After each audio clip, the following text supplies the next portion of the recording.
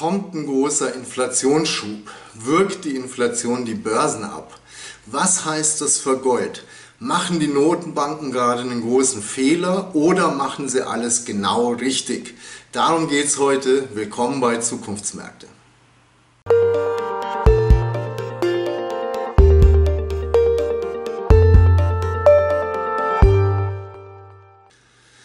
Die EZB ist unter die Dichter gegangen.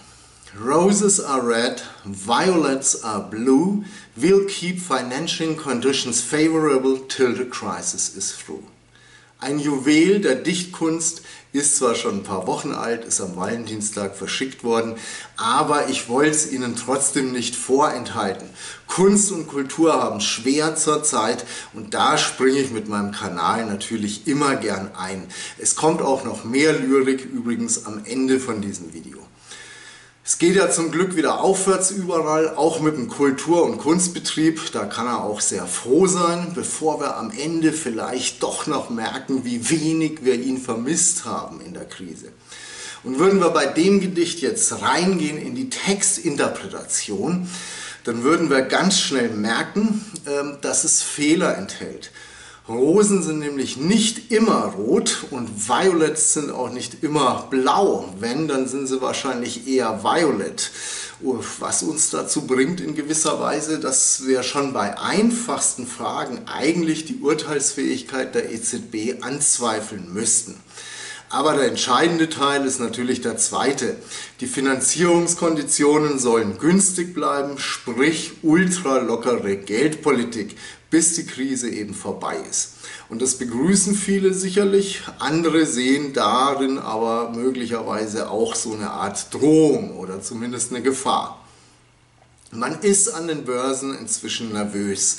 Und das liegt an den Inflationssorgen, die wir haben und äh, damit verbunden eben, dass vielleicht auch die Zinsen jetzt äh, noch weiter steigen. Und wenn die Anleger wieder höhere Zinsen kriegen am Markt, dann werden Aktien ja relativ zu Anleihen unattraktiver in der Tendenz. Habe ich äh, oft schon darauf hingewiesen, auf den Sachverhalt. Es gibt auch zig andere Beiträge mittlerweile, wo das äh, auch behandelt wird. Hier haben wir zum Beispiel ein Video von meinem sehr geschätzten Kollegen Lars Erichsen Vorsicht Zinsen. Und wenn uns das jemand vor 15 Jahren gesagt hätte, dass wir mal in Panik geraten, regelrecht, weil es wieder minimale Zinsen gibt am Markt, dann hätte das keiner geglaubt. Aber so ist es und sagt auch viel darüber aus, wo wir inzwischen stehen natürlich. Auf jeden Fall Zinssorgen, Inflationssorgen, die sind zurück. Die Zinsen sind stark gestiegen, vor allem in den USA. Hier der Zins auf Staatsanleihen mit 10 Jahren Laufzeit, Aufsicht von einem Jahr. Letztes Jahr sind sie eher langsam noch gestiegen, aber ab Januar hat es dann einen richtigen Schub gegeben bei den Zinsen von einem Prozent ungefähr auf 1,8 Prozent in der Spitze. Und damit sind sie aber trotzdem noch weit unter der Inflationsrate, weil die Verbraucherpreise in den USA, die sind im April plötzlich gestiegen um 4,2 Prozent, deutlich stärker als erwartet. Und die Produzentenpreise um 6,2 Prozent. Und im Zuge dessen steigen jetzt auch die Inflationserwartungen und zwar sehr schnell. Der Markt rechnet jetzt für die nächsten äh, fünf Jahre mit einer Durchschnittsinflation von 2,8 Prozent pro Jahr. Das ist der höchste Wert seit 2006. Und das muss aber natürlich noch nicht das Ende sein von dem Ganzen. Und das ist das, was die Börsen zurzeit beunruhigt. Aber auch wenn man das jetzt weiß, auch dann kommt einem vielleicht das eine oder andere ein bisschen komisch vor oder, oder mysteriös äh, sogar vielleicht. Es geht los mit der Grundsatzfrage, warum fallen denn die Aktien jetzt bei den Inflationsdaten? Also wenn man hört, dass die Inflation steigt. Man hat uns doch jahrelang erzählt, Aktien sind Sachwerte und Sachwerte sollen uns doch genau davor schützen. Und die zweite Frage, die man sich stellen könnte, warum sind die Aktien bis jetzt gestiegen und Gold ist zum Beispiel nicht gestiegen? Das ist ja auch ein Sachwert. Inzwischen erholt sich äh, Gold auch wieder, aber äh, da komme ich nachher noch äh, kurz drauf zurück. Und dann drittens, und das ist äh, besonders merkwürdig eigentlich, hier nochmal kurz die US-Anleihezinsen. Also warum sind die bis März trotz Nullzinspolitik durchgehend gestiegen und zwar ja synchron zum Aktienmarkt, nicht gegenläufig. Und jetzt plötzlich, wo die hohe Inflation da ist, da steigen sie nicht mehr. Und viertens, Rohstoffe und Rohstoffaktien. Der Inflationsschutz äh, schlechthin ja eigentlich, zumindest wird uns das permanent so verkauft. Aber als die Inflationsdaten in den USA reingekommen sind da neulich, da waren das genau die Aktien, die es mit am stärksten erwischt hat. Und mir ist das Thema Rohstoffe, das habe ich ja schon gesagt, mir ist es sehr wichtig. Ich will es hier deswegen auch nicht nur kurz streifen, sondern wie schon erwähnt, das wird extra behandelt, ausführlich morgen im Zukunftsmärkte-Report. Wo stehen wir bei den Rohstoffen? Bei Öl, Kupfer, Nickel, Eisenerz. Was ist da noch spannend momentan? Was wird äh, stark gefragt und gebraucht? Wo ist Potenzial und wo sind wir vielleicht schon überhitzt? Morgen früh haben Sie das alles bei sich im Postfach. Wenn Sie jetzt die Reports von uns noch nicht kriegen, die kann jeder bekommen, die sind gratis, Sie müssen sich dafür nur einmal eintragen auf www.zukunfts-märkte.de. Aber dran denken, der Report zu den Rohstoffen, der geht eben morgen schon raus, darum gleich anmelden und der Link dafür ist auch nochmal hier unter dem Beitrag. Gut, was erklärt jetzt diese ganzen Entwicklungen, die ja, äh, ja gut, ein bisschen widersprüchlich wirken? Wir können heute die Märkte nicht mehr verstehen ohne Blick auf die Notenbanken. Und wären die Zeiten jetzt normal, dann würden unsere westlichen Notenbanken wahrscheinlich sagen, aha, jetzt erholt sich die Wirtschaft wieder, der Inflationsdruck steigt auch wieder, wir müssen jetzt einfach gegensteuern, ganz normal, die Zinsen anheben, Geldversorgung drosseln. Aber die Zeiten sind eben nicht normal und das sind sie schon lang nicht mehr. Und speziell die FED in den USA, die hat schon bevor dieser Inflationsschub gekommen ist jetzt ganz klar formuliert, wie sie den einschätzen wird und was sie dagegen zu tun gedenkt, nämlich gar nichts. Die Fed sagt, diese Krise ist beispiellos jetzt, die ist noch lang nicht vorbei und darum wird die Geldpolitik auch dann nicht geändert, wenn die Inflation über das Ziel von 2% überschießen sollte. Weil dieses Überschießen, das ist in jedem Fall vorübergehend. Und wenn man dem folgt, und viele Marktteilnehmer tun das wohl, dann erklärt das zum Teil zumindest, warum der Marktzins und die Inflation jetzt so auseinandergehen. Weil man sich nämlich ja denken kann, dass die Fed jetzt die Zinsen trotzdem drückt, trotz höherer Inflation, dass sie damit ja vielleicht sogar recht hat und die Inflation geht vielleicht wirklich wieder zurück. Ist nicht völlig abwegig. Das, was wir haben an Daten zurzeit, also sowohl zum Wachstum als auch zur Inflation, das beruht ja wirklich zu einem guten Teil auf Basiseffekten. Der ganz harte Corona-Schock, das war genau vor einem Jahr. Und da ist es völlig logisch, dass die Unterschiede dazu im Vergleich jetzt eben sehr groß sind. Und in dem Punkt, da muss man auch wirklich sagen, äh, unsere Wirtschaftspresse momentan, die bekleckert sich da nicht immer mit Ruhm, wenn sie darüber schreibt. Also wenn man da liest zurzeit, wie wahnsinnig gerade sich alles erholt und überall neue Rekordwerte beim Sentiment und so weiter. Ja klar, im Vergleich zum absoluten Tiefpunkt in der Krise mit der Inflation ist es genauso. Was haben wir denn erwartet? Wir haben bei Öl einen Anstieg in einem Jahr gehabt um 80 Prozent, Kupfer 90 Prozent, Eisenerz 130 Prozent, Mais um 100 Prozent, Soja um 80 Prozent. Wie gesagt, zu den Rohstoffen gibt es ja morgen den Zukunftsmärkte-Report. Aber dadurch allein schon die Inputpreise, ja natürlich steigt da die Inflation. Aber es ist möglicherweise eben trotzdem auch berechtigt zu sagen, liebe Leute, jetzt macht euch mal nicht ins Hemd. Das flacht ja auch irgendwann mal wieder ab. Nur, was, wenn nicht? Die FED hat sich ja jetzt, wie gesagt, schon festgelegt, was von der künftigen Inflation zu halten ist. Was, wenn sie sich da irrt? Und vor allem, woran merken wir das? Das macht es ja auch zurzeit so verdammt schwer äh, für einen Anleger. Wir werden nächsten Monat wieder einen Inflationswert kriegen und wenn der nochmal höher ist, dann stehen wir im Grunde ja auch nur wieder vor derselben Frage. Ist er vorübergehend? Ist er nicht vorübergehend? Also egal, was wir da kriegen, es hilft uns erstmal nichts. Das Einzige, was wir vielleicht machen können, dann wir können uns anschauen, wie der Markt äh, darauf reagiert vielleicht noch. Also behält der die Nerven, behält er die Nerven nicht und auch möglicherweise die Fed, vielleicht behält die ja die Nerven auch nicht.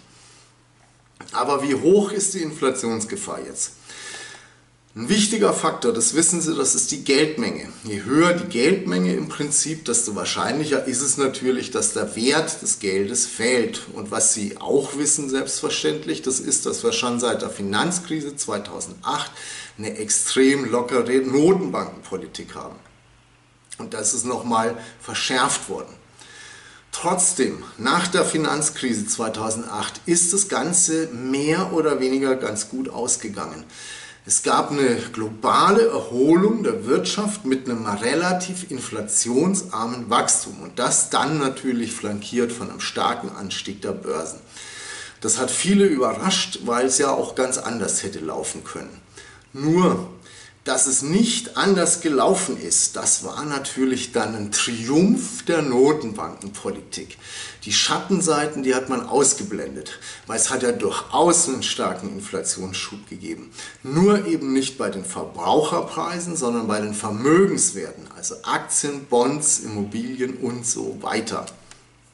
Dass Aktien jetzt teuer sind, das kann man vielleicht noch verkraften, auch sozialpolitisch aber nicht, dass es zig Millionen Arbeitgeber gibt, jetzt äh, Arbeitnehmer, äh, Entschuldigung, die sich mit ihrem Gehalt vor der Finanzkrise wahrscheinlich locker Wohneigentum hätten leisten können und die jetzt aber weit davon entfernt sind. Wer jetzt kein Haus hat, baut sich keines mehr, womit wir wieder bei der Lyrik wären aber trotzdem ein Triumph letzten Endes für die Notenbanken und eine großartige Bestätigung darin, dass ultra lockere Geldpolitik auch schwerste Krisen überwindet und das vermeintlich ohne große Nebenwirkungen. Und darum glaubt man, Rosen sind rot, Pfeilchen sind blau und wir können auch diesmal wieder das Ganze bedenkenlos durchziehen, ohne Inflationsgefahr aber ich wäre mir da nicht so sicher. 2009 und 2021, das ist nicht das gleiche.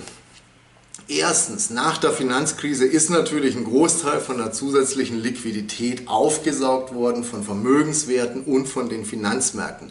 Wir können nicht davon ausgehen, dass das wieder so ist, weil Immobilien und Aktien teilweise auch sind inzwischen schweineteuer, Bonds werfen oft auch nichts mehr ab und äh, wir haben, wie gesagt, ja die Inflationssorgen, die die Märkte ja auch nervös machen. Und zweitens, diese Inflationssorgen, die werden ja zusätzlich noch dadurch angeheizt, dass ja die FED zum Beispiel erklärt, dass sie auch dann, wenn Inflation kommt, erstmal nichts dagegen macht. Das ist paradox, aber es kann trotzdem so kommen, dass sie genau dadurch das bekommt, was sie eigentlich nicht will. Drittens, die Weltwirtschaft erholt sich sowieso schon, die Inflation erholt sich auch. Wir haben viel aufgeschobenen, aufgestauten Konsum auch und es kommen aber trotzdem noch vor allem in den USA riesige Konjunkturprogramme im Billionenumfang jetzt noch oben drauf. Das ist der eigentliche Unterschied im Vergleich zur Finanzkrise 2008. Die Ideologie ist jetzt eine andere. Und das wird auch immer wieder betont, äh, dass ja die Geldpolitik jetzt flankiert werden muss durch deutlich höhere Staatsausgaben und durch eine deutlich höhere staatliche Neuverschuldung. Das wird also nicht befürchtet, das wird gefordert, damit das Geld eben dann auch wirklich im Kreislauf ankommt. Aber wenn es da dann natürlich ankommt, dann kann es auch Inflationsdruck erzeugen. Nach der Finanzkrise, da war es noch so, da hat man das Gefühl gehabt, vor allem hier in Europa, dass man Exzesse abbauen muss, Verschuldung abbauen muss. Also Sie erinnern sich noch an die Rettung äh, äh, von Griechenland, die Kämpfe, die da geführt worden sind, an die Austeritätsdebatten mit Italien, Spanien, Portugal. Da war noch Sanierung angesagt, die Notenbanken sollten das natürlich unterstützen, aber das, das ist vorbei, das Thema ist rum und wie schon oft gesagt, die schwäbische Hausfrau ist tot und begraben. Es gibt ein paar Politiker noch und Volkswirte, die, die sehen höhere Schulden kritisch, aber das sind Leute von vorgestern. Die werden nicht mal mehr kritisiert heute, die werden nur noch belächelt. Und das wird sich auch nicht ändern, wenn die Krise jetzt vorbei ist, äh, weil wir dann ja immer noch weitere tausende Themen haben, wo wir unbedingt ganz, ganz, ganz viel Geld reinbuttern müssen. Insofern, es kann immer noch sein, dass es halbwegs glimpflich abläuft mit der Inflation, dass es wieder so kommt wie von 2009 bis 2019. Ich würde mich nur nicht darauf verlassen. Wenn sich die Geschichte jetzt wiederholt, Erholung bei niedriger Inflation und dauerhaft niedrige Zinsen, dank starker Deflationskräfte übrigens, über die ich ein eigenes Video gemacht habe, auch vor einiger Zeit, dann kann es auch sein, dass die Börsenrallye weitergeht, dass Aktien das denkbar beste Investment sind die nächsten Jahre. Aber vergessen wir nicht, was damals dann auch passiert ist, nämlich zum Beispiel ein starker Einbruch bei den Rohstoffpreisen. Hier haben wir einen Dow Jones Commodity Index die letzten zehn Jahre. Angeführt von Öl und von Agrarrohstoffen ist er eingebrochen, ausgerechnet die Rohstoffe und das mitten in eine Erholung hinein. Oder was zum Beispiel mit Gold passiert ist auch. Auch da ab 2011 eine jahrelange Korrektur. Erst 2016 hat sich dann wieder erholt. Und das witzigerweise ganz genau dann, als die FED die Zinsen wieder angehoben hat. Auf der anderen Seite ist Gold was, das sie vor Dingen schützt, vor das sie sonst fast nichts schützt. Unser erholt sich auch gerade wieder, also von August bis März sehen wir hier im Einjahreschart, da ist es gefallen, weil da die Zinsen gestiegen sind. Sie erinnern sich, seit März steigen die Zinsen nicht mehr, die Inflation steigt aber weiter und die Anleger merken natürlich, dass die, die Realzinsen dadurch immer mehr ins Negative rutschen. Und ich glaube, langfristig ist es eine Tendenz, die uns auch erhalten bleibt.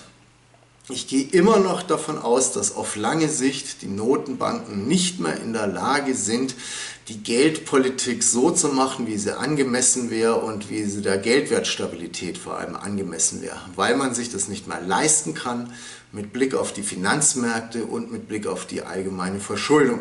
Und das spricht stark für Gold langfristig. Auf der anderen Seite, ich sitze zwar auf glühenden Kohlen schon, weil mich ja zum Beispiel auch Goldminenaktien sehr interessieren, aber anders als viele andere, ich bin nicht davon überzeugt unbedingt, dass wir jetzt kurzfristig die große Goldrallye kriegen. Zumindest nicht zwangsläufig ein einziger Hinweis oder ein einziges Signal darauf, dass der Inflationsdruck vielleicht doch vorübergehend ist momentan und Gold kann sofort wieder einbrechen. Oder vielleicht auch ein Hinweis darauf, dass die Fed ihre Politik irgendwie vielleicht doch revidiert. Auch das wäre schlecht für Gold. Aber das brauchen wir noch nicht mal. Äh, für eine Goldpreiskorrektur reicht ja auch schon oder würde schon reichen, wenn jetzt die Zinsen in den USA doch wieder steigen, weil eben der Inflationsdruck schon so stark äh, vorausgelaufen ist. Und schon wird es auch nicht mehr besonders gut aussehen für Gold, nicht mehr so gut, wie es im Moment aussieht. Wir stehen wirklich an einem Scheideweg. Wir haben die Corona-Rallye gehabt, weil Notenbankengeld billig war, aber wir kommen an einen Punkt, wo wir auf die Widersprüche von dieser Politik stoßen. Und weil die Bewertungen jetzt schon so hoch ist, kommen wir an diesen Punkt wahrscheinlich auch früher als gedacht. Das ist ein Problem. Ich habe auch keine Empfehlung für Sie im Moment. Da werden einige jetzt ganz furchtbar meckern drüber. Wenn Sie mehr wissen als ich, schreiben Sie es rein in einen Kommentar oder auch, wenn Sie entsprechend Vermutungen haben, wie es weitergehen könnte. Ich, ich freue mich drüber natürlich. Im Moment will ich jetzt mal nur zeigen, welche Kräfte da gerade am Wirken sind am Markt, äh, meiner Meinung nach, und äh, welche Konsequenzen die jeweils haben können. Es kann aber durchaus sein, äh, dass wir in ein paar Wochen schon wieder mehr wissen, wenn wir neue Daten haben. Und wenn wir diese Daten dann eben auch wieder entsprechend äh, beobachtet und bewertet haben. Dafür ist der Kanal hier auch da. Und ich würde mich auch freuen, wenn Sie das zusammen mit mir äh, weiterverfolgen, auch in Zukunft, auch wenn es nicht ganz einfach ist alles. Und wenn Sie den Kanal auch abonnieren.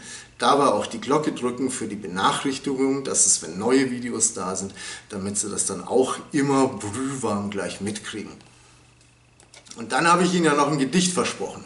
Passt genau zu dem Thema und in aller Bescheidenheit ein Höhepunkt meines literarischen Schaffens und heute erstmals öffentlich auch vorgetragen. Die Entwicklung ist fatal und alles andere als banal. Und ich habe auch keine Wahl, denn ich sitze im Zugriffstal. Drum erspart mir diese Qual, abonniert jetzt den Kanal, alles andere ist egal. Alles Gute Ihnen, Dankeschön fürs Zuschauen.